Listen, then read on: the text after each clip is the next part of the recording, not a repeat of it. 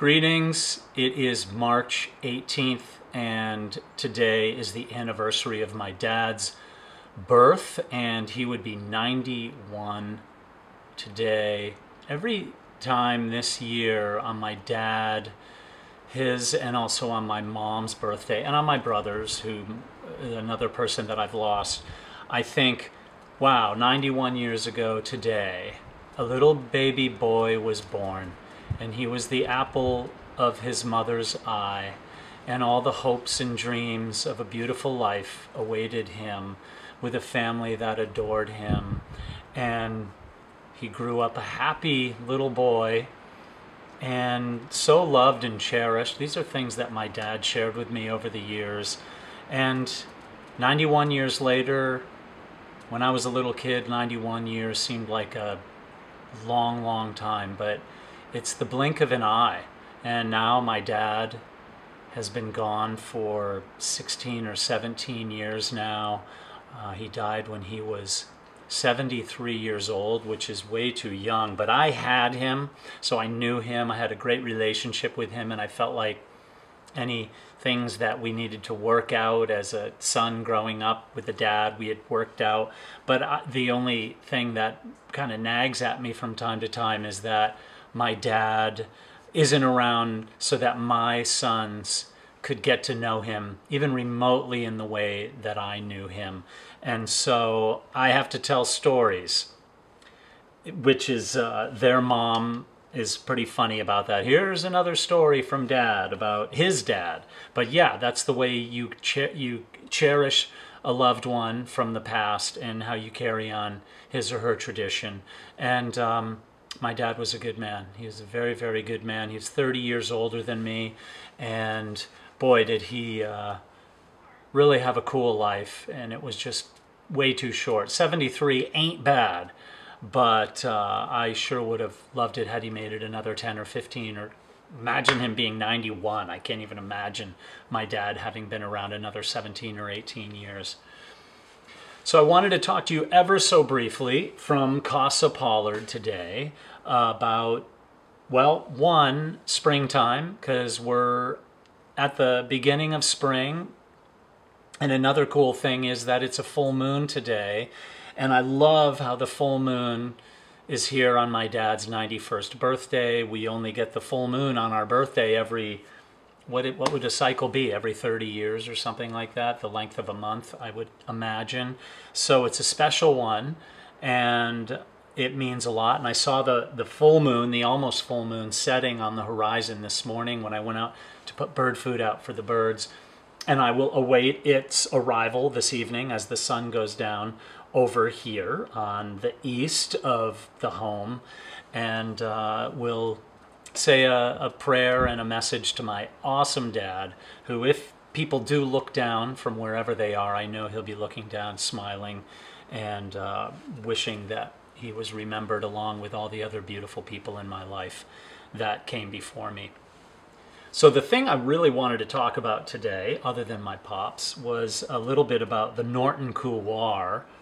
I have a video that's on this YouTube channel that has gotten a lot of attention, not that much, 50 some odd thousand views or 40 some odd thousand views about the mystery of Mallory and Irvine and my experience in that story on the mountain. For those who don't know, in 1999 I was hired to be a high altitude cameraman on the Mallory and Irvine research expedition. And at the time when I got hired, honestly, I didn't really even know much about Mallory and Irvine. I mean, very little. Maybe I had heard stories. I had just become a member of the American Alpine Club, and so you heard stories of Everest lore. Uh, but I was more familiar with Sir Edmund Hillary and Tenzing, who we knew uh, as the people, or still know as the people who first summited in 1953. And so when I went, really, I was at the mercy of of what I was given as information for our ascent and our filming up high, and that was to go and trace Mallory and Irvine's route up as far as we knew them to last have been seen, or at least surmise them to have last been seen. look for their bodies, and see if we could make determination if they made it to the summit or not. Back then, I knew a little bit about the Norton Couloir, which is a more direct route across the north face that goes straight up the summit period pyramid. Now, this is on the north face from Tibet, looking south essentially as as we look at the the landscape of the mountain. And uh, but but we followed a route that I accepted at the time as having been that they tried the second step, which is the notorious second step, which until the 70s had uh, was pretty much impossible to climb. And while Mallory and Irvine may have attempted the second step, there's no knowledge of whether they did or not. They Mallory and Irvine were seen on the summit ridge by Noel Odell on June 8th in the afternoon and he saw them for a very short amount of time. And after he spotted their bodies getting up onto the ridge, the clouds came in and they disappeared. Jake Norton, my friend from 1999, makes some great observations about that and shares photographs on his website. I'll share the link to that on this on the show notes of it. He shows about what a visual uh, representation really would be from the from like a human eye viewpoint, not a zoomed in shot of the first, second, and third step. And back then in 1924, during that expedition, the third step wasn't really even recognized. I don't even know if they called it the first step or the second step. They per se they called it the second step, but not the second step. And so. Um, my inkling was always that Noel Odell saw them above the first step and not above the third or near the third step, as many people like to believe th- these days. And many people believe that the people in the 99 expedition were, were misinformed or dead wrong at looking at all the clues that we might find on the second step. Might be right. We went back in 2019, I went with Mark Synnott and Renan Ozturk and a, an amazing group of filmmakers, and we continued to do our searching in a spot that we had believed Irvine had been found. We made, made no presuppositions that it was the second step. Of course, we talked about the second step a lot, but it wasn't as much about did they do the second step or or not. It was that we were looking for Irvine's body, which we did not find, unfortunately. But um, my good friend Jochen Hemleb, who many of you know, he's a, an Everest historian, and I believe one of the most knowledgeable in terms of the facts of the expedition.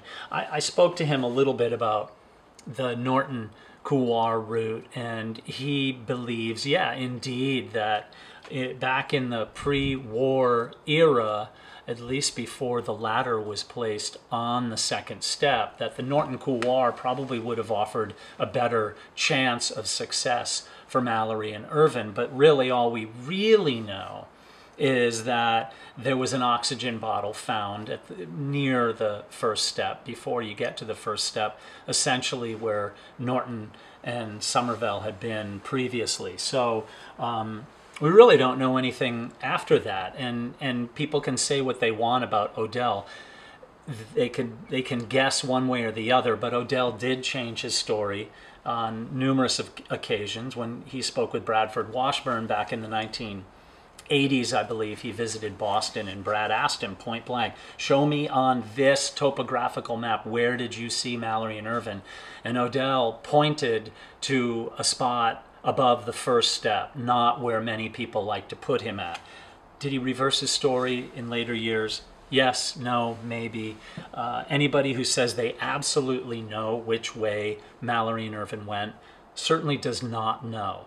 And probably the most troubling thing in all of this is that while there are so many people drawn to this incredible mystery, and it's one of the most amazing stories of um, adventure and mountaineering certainly that has ever happened you'd think that people would come together to try to solve it but what's happened is there's been a, a faction of people who believe very strongly in the the route that I have very little knowledge about that have taken it to a personal level. And and it's mind-boggling to me that that people can well let's put it this way i blocked a lot of comments on my youtube video and and recently i actually just turned comments off altogether.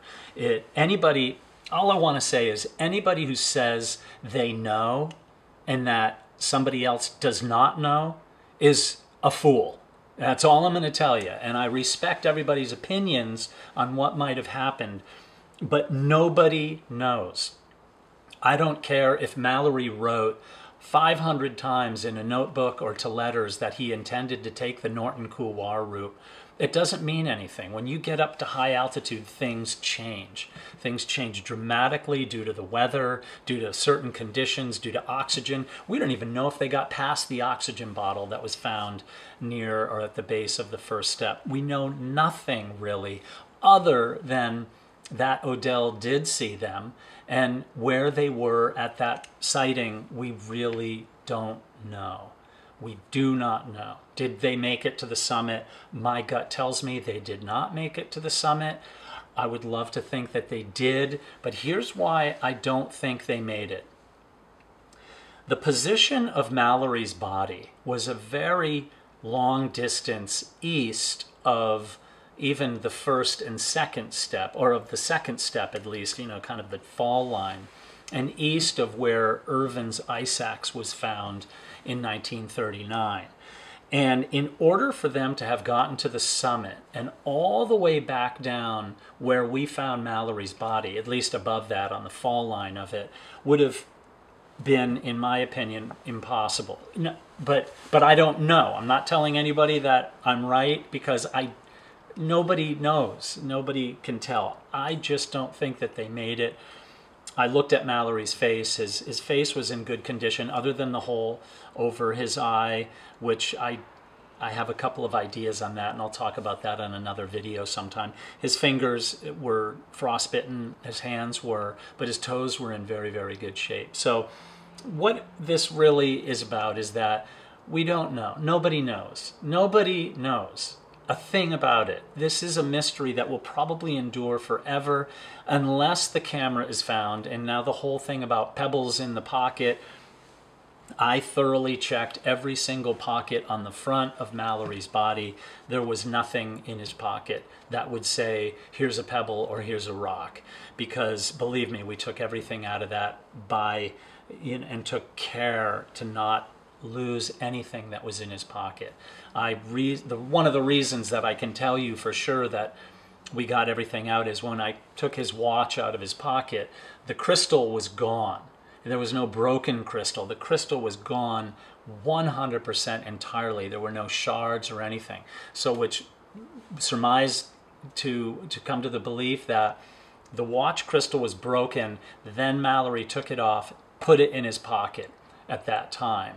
So in looking through his pocket, I did not find even a, a tiny shard of crystal. And believe me, I looked really thoroughly at the time, and we kept absolutely everything, with the exception that the hour hand of the watch fell off and it was lost. It was in a Ziploc baggie with uh, Andy Politz and I were up at Camp 5 at about 26,000 feet, and somehow that little hour hand got away from us. We do have one photograph of it with the hour hand on it. But uh, yeah, the mystery endures. So if anybody tells you they know, they don't. And if anybody tells you that the other people for thinking differently are a fool, well, you know how I feel about that. I, I have a respect for everybody's opinion on this.